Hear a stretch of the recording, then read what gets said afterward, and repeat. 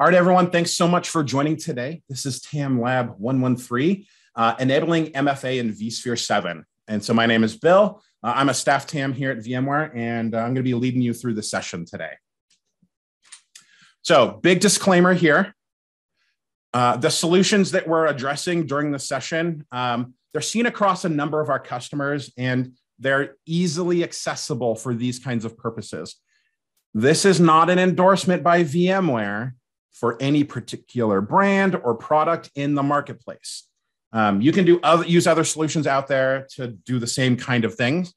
So I just want to be very clear. We're not saying that any solution in here is the go-to. Okay. So what are we going to do in this session today? We're going to do about five things here.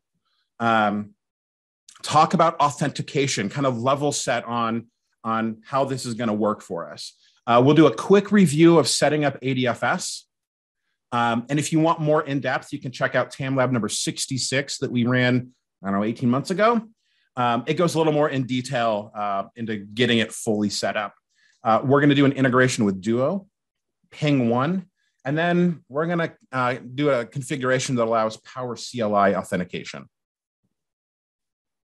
Okay, so from an authentication flow perspective, focusing on what we're used to, right? With our SSO domain. So we see that as vsphere.local uh, as the default. Um, you have a vCenter and it collects credentials, so username and password, and it does the validation of those credentials to say whether or not they are valid or invalid. None of this is a surprise. Um, and if they're valid, they create a token right? And then if it's invalid, it's rejected and you have to try again. And this is all done within the scope of a vCenter. So vCenter handles all of this inside itself. When we look to LDAP, so that's the next extension that we typically see, um, we have our vCenter and it collects credentials. So again, think of our, um, our login screen where we're asking for username and password, right? That's done within the vCenter, and then it passes it to LDAP, right? So it takes those credentials, sends it over to the LDAP server where it validates. And then it says, yes, these are valid, or no, it's not valid.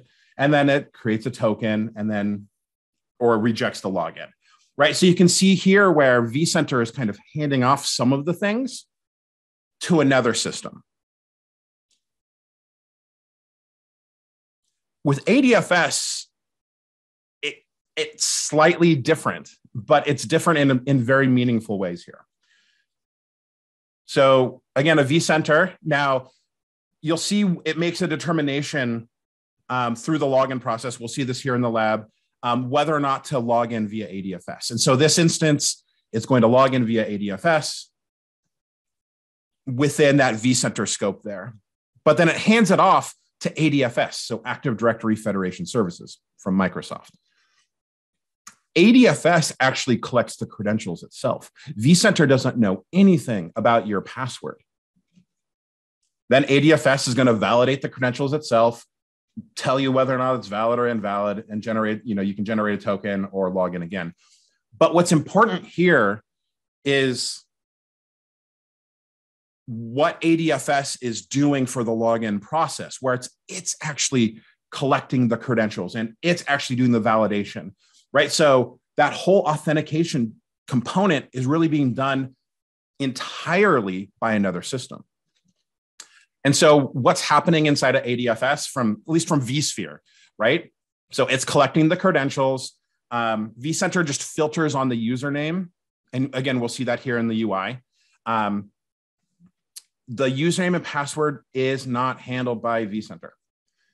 Then it validates credentials using whatever policies are configured. It's usually dependent on the business, right? And what their security rules are and requirements. Um, often it's, you know, username, password. It could be a certificate or a device or MFA or, or other things. Um, there's a lot of integrations with ADFS. So, you know, it's, it's all up to what ADFS can really, you know, extend to. Um, and then vSphere is looking for confirm credentials. And if they're confirmed, you get a session, right? So it's pretty simple from the vSphere perspective. So, what does vCenter care about with ADFS integration? The evaluated credentials. It does not care about what's going on inside of that black box. It cares that that black box has generated valid credentials or invalid credentials. Okay, so welcome to the lab. Um, in the lab, we have a vCenter deployed. We call it ADFS vCenter. Uh, it's 7.0 update 3. Uh, we also have um, ADFS deployed on a Windows Server 2019. That's meaningful because Microsoft has made some changes from 2012 and 2016 and ADFS living on top of those to 2019. So if your customer or you are um, considering this, just know based on your version of ADFS, instructions for the integrations might look a little different. Um, but that's what we're working with here um, as we get going. So let's take a quick, uh, quick tour. Um, I'm going to go ahead and log in to this vCenter. And you can see here there's nothing set up. It's just the local SSO domain, vsphere.local. Um, and that's about it. If we go look at the inventory, it's pretty boring. We just have a data center and a cluster with nothing inside. This is very lightweight. Okay, so let's go to configuration here, back to here. Um, when you're working with uh, your team, whoever's managing ADFS for something like this, they're going to want to know a couple things to get this started. And uh, there's this little I up here next to change identity provider. This is where we actually start the process of going to ADFS. So if you hit the little I, it's going to give some things called redirect URIs. And these are components that the ADFS team are going to need to know in order to set this thing up. Um, from a flow perspective, you want to set up the ADFS side before you do vSphere. Otherwise, you could interrupt people's authentication and whatever else. So we're going to leave these here on screen and we're going to start setting up ADFS. Um, so over here on the right, you can see my ADFS environment and we're going to get rolling here. Um, so let's go ahead real quick and set up an application group. We'll call this uh, TAM Lab uh, Sphere MFA. Okay, so next uh, it's going to be a server application using a web API. Um, we have our client identifier. Now this is where we take these redirect URIs. So I'm going to go ahead and copy that one, paste it straight into here, add that. We'll take the other one, add that into here. Okay. Next, we're going to go ahead and create a shared secret. So this is something that we're going to give to vCenter. Okay. There we go. Um, per our documentation, um, we just created this client ID uh, just a screen ago, and this is something that vCenter is actually going to report back. Um, and so we need to go ahead and use that as well. So we're recycling it right there. Now we're going to create a default policy of permitting everyone, but you can see, and we'll see it later, there are different types of policies, uh, including one that says permit everyone and require MFA. So for the time being, we're going to permit everyone through ADFS. And then once we get MFA going, we're going to change this policy. Um, we have to adjust some uh, LDAP attributes into OAuth um, to create some claims. So we're making a couple adjustments here. Next and close. So now we have our application group created. We call it TamLab vSphere MFA. And inside are a couple of applications. So I'm going to go to this web API real quick. Um, and this is where we do some LDAP attribute mapping, right? So you can see here, we're going to send LDAP attributes as claims. Uh, first one here is a group claim. We're going to pick it from AD. And we're going to find group qualified by long domain. Again, this is this is called out in our documentation. Um, so I'm not just making the stuff up as I go. Next one is going to be a subject claim. We're going to pull this from Active Directory.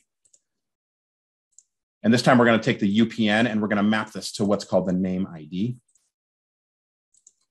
And then the last one here is going to be the UPN claim and pulling it from Active Directory. We're going to pick our UPN again.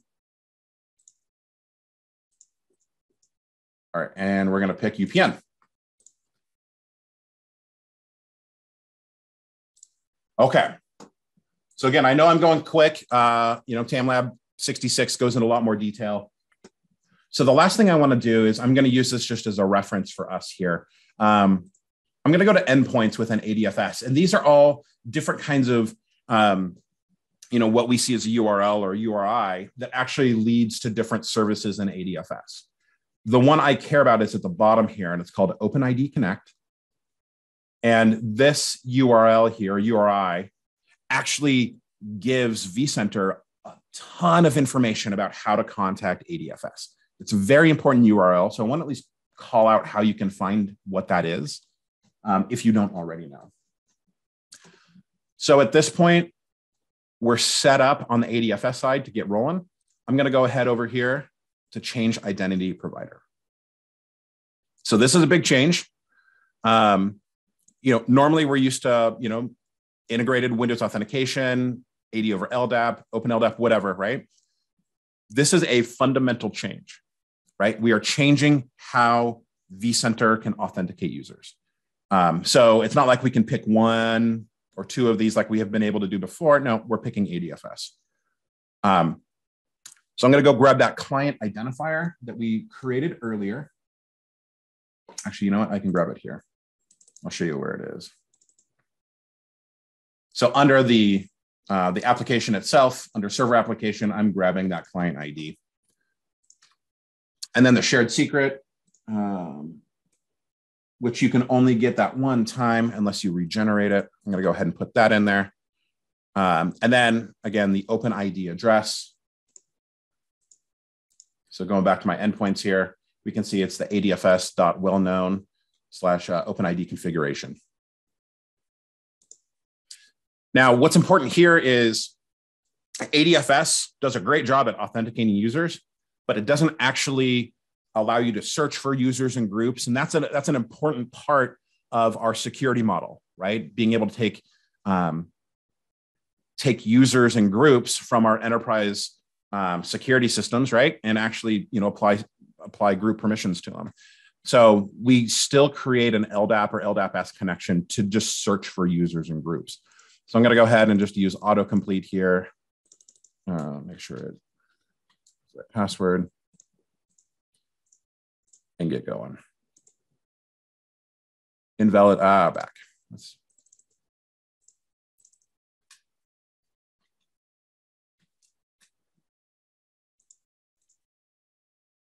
Yeah doesn't like that.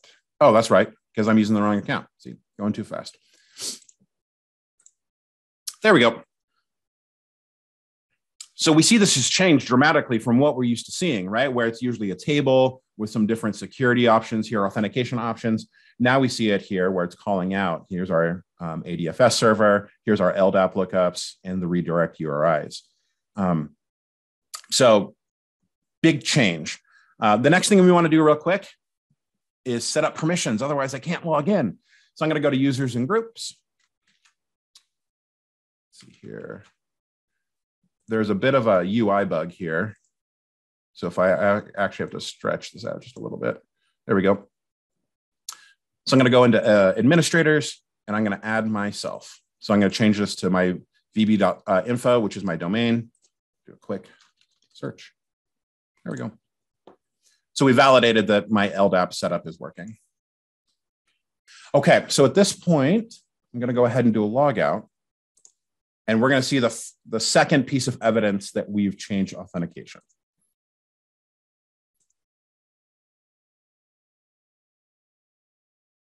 Okay. So now we have a, a, change where we're not seeing username and password, but we're seeing, you know, sign in with your username. And this is where vSphere is going to make the decision whether or not I'm going to actually authenticate with like, you know, an internal vSphere.local account or go to ADFS, right? So we see a big change here. Let's go ahead and log in real quick. So I'm going to log in with my domain account. And you can see it changed, right? So my URL at the top is now adfs.vb.info. It's not my vCenter. And I haven't provided any credentials to vCenter yet. So I'm going to go ahead and sign in here. And there we go. Pretty cool. Let's go ahead and sign out. All right, so that's trying to go a million miles an hour to play catch up on the ADFS setup. So now we've got that all set up. So let's get into um, setting up an integration here.